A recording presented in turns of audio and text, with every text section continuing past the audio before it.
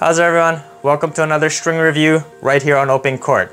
So today I'm reviewing a string that, to be honest, I wasn't too interested in trying before. This string came out a few years ago and it's made by Babolat and Babolat doesn't make my favorite polyesters unfortunately, but I finally got my hands on this string and decided to give it a try.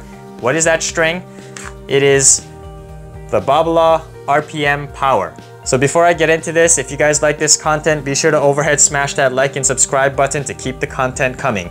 Let's check out the RPM Power.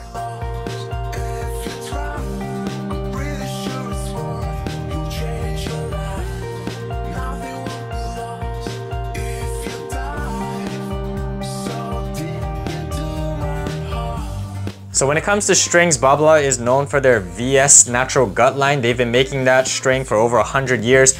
When it comes to polyester, the RPM Blast is their best seller and is used by pros such as Rafael Nadal and Stan Wawrinka to name a few. I've said before that the RPM Blast is not one of my favorites. It's a very dead feeling string. It doesn't really give you much connection to the ball. It's very muted and dampened. So Babolat went out to fix that and they came up with this, the RPM Power.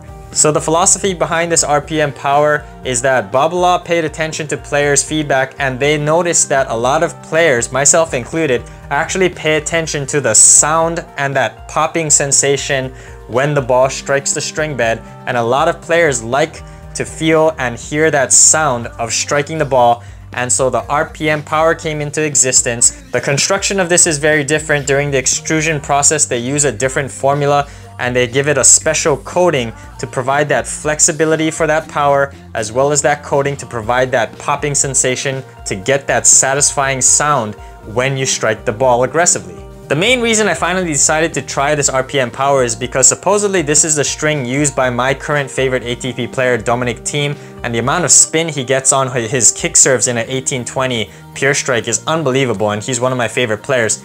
So I finally decided to give this RPM power a try. So I got it strung up here, my head Graphene 360 Speed MP.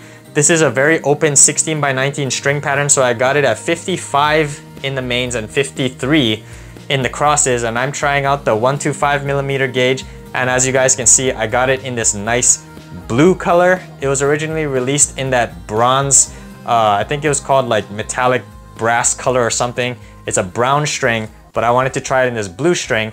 So let's get on the court and let's talk about the RPM power.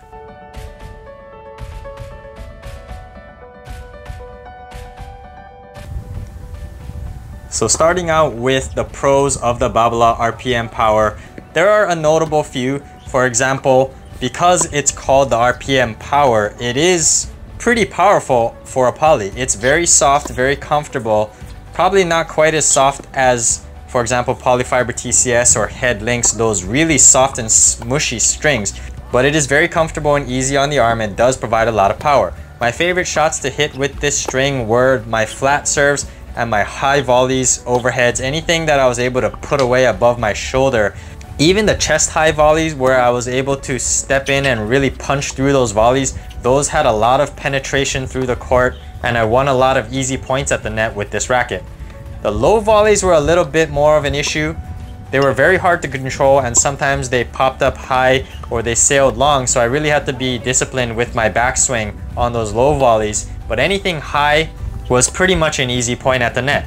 It also does live up to its reputation of having a crisper response than the RPM Blast. I definitely felt more connected to the ball, but it still doesn't reach the heights of a Tour Bite or a Head Lynx Tour or a Luxilon Alu Power. Those strings play a lot more lively. I get a lot more response and feedback in my arm with those strings. The RPM Power is still not quite on par with those, but it definitely gave me more than RPM Blast, which is honestly one of my least favorite strings because that string plays so dead. Also, the popping sensation when I strike the ball cleanly in the sweet spot on a fast, aggressive swing is very satisfying and provided a lot of penetration, good depth. My flatter backhand from the baseline definitely worked a little better than my forehand because I hit more of my backhand on a line. The RPM power was able to unlock a little bit more MPH, but it didn't really do too much for me in terms of the spin. I'll touch on that a little bit later, but definitely I felt that the flatter shots were better. The flat serve, my flat backhand, flat overheads, flat high volleys, those are the shots that really benefited the most for me personally with this RPM power. Because of its soft and springy response, this string also has easy net clearance. It has a high launch angle. Depending on the type of player you are, that might be a detriment, but I think a lot of people who are looking for assistance with net clearance and depth, especially if you're looking to be able to hit the ball deep into the backcourt and pin your opponent behind the baseline, the RPM power can assist in that. And as long as I was coming over the ball with my stroke, I could get the ball deep into the court and stay on the offensive but unfortunately, that's about where the pros stop for me. To be honest, the RPM power is not really a string that's meant for me. There were a lot more cons than pros for me personally, and let's touch on those now. So for me, the biggest con with the Babolat RPM power is its lack of spin potential.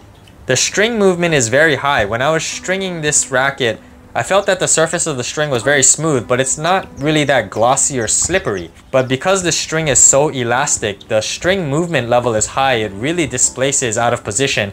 But because it doesn't have that slippery coating, it doesn't really snap back. And just in my first play session alone, I was noticing that the strings were getting stuck out of place.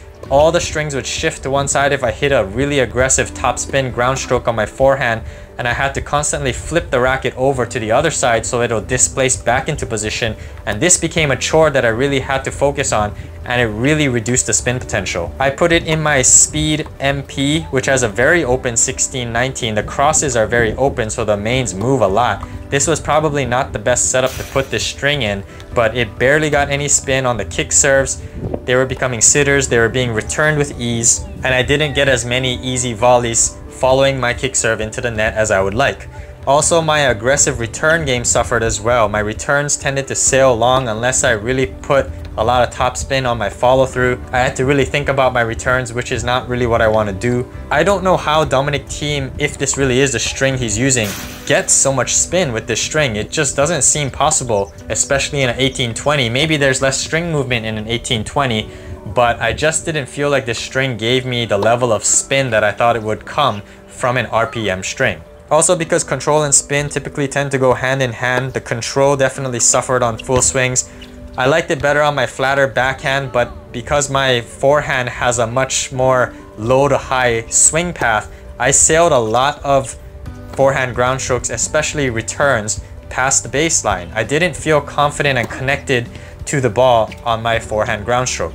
Although this string is very soft and comfortable, it does lead to a more springy response which makes hitting drop shots and angle volleys a little difficult. My drop shots floated up two feet above the net which made it easy for my opponents to run down. My angle volleys went wide and I ended up hitting them past the sideline so I didn't feel quite as confident on those touch shots that I like to utilize. Lastly, tension loss is not too bad for a softer poly. For the first two to three sessions, I actually didn't really notice much of a tension loss. But after that third session, the tension and playability really dropped off a cliff. There was a noticeable drop. The strings were getting stuck out of place a lot more. It was getting a lot more springy, a lot more of an erratic feel. And I just didn't feel quite as connected and it lost that satisfying pop that I had when it was freshly strung. At 17.95 a set, I don't think it's that great of a value in terms of cost to performance ratio. So for me personally, the RPM power is not a string that I can see myself using again. But that's not to say there isn't an audience out there for this string, so let's get into who is the Babolat RPM power for. In my opinion, I think this string suits flatter hitters much better than heavy spin hitters. Because the strings move so much, if you have a very vertical swing path, I think you're going to wear down the string, it's going to lose its spin potential, lose its control, and you're going to end up sending a lot of shots long once the string starts displacing. I think this string is much better for flatter hitters because the strings won't move so much. You rely more on a power game, so you'll be coming through more horizontally through the point of contact and you can drive opponents back from the baseline. I think this string is more suited towards that type of player. It also is a decent volley string for the slices, the string doesn't display that much because the velocity at which you hit volleys is not as quick as ground strokes typically. But definitely the flatter volleys or the high putaways or overheads or even just chest high volleys, those feel really good with this string. So if you're a serve and volleyer that doesn't hit primarily kick serves, more of a slice or a flat server, and you like to volley, this could be a good string for you. Or if you're just a flat baseline hitter, the RPM power definitely gives you more comfort, it's easy on the arm, and will give you that penetrating power to dictate points from the baseline. So the RPM power was a string that I was very curious to try. I'm glad I tried it even though I was a little bit more on the negative side with this string. It's not a string that I can see myself using. I do love Babolat's natural guts, but their polys don't really mesh with me. So I'm still looking for that elusive Babala poly that will finally win me over to their poly line.